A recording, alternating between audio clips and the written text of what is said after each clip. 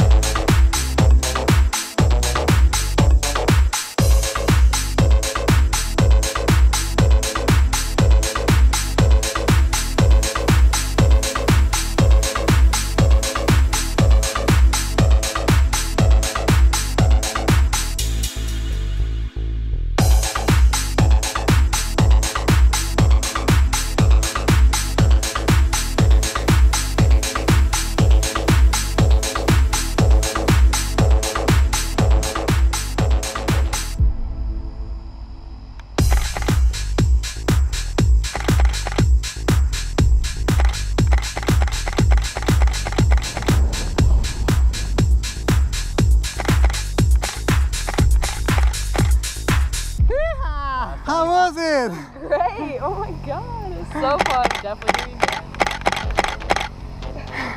Congratulations. And happy birthday! Thank you. what was your favorite part?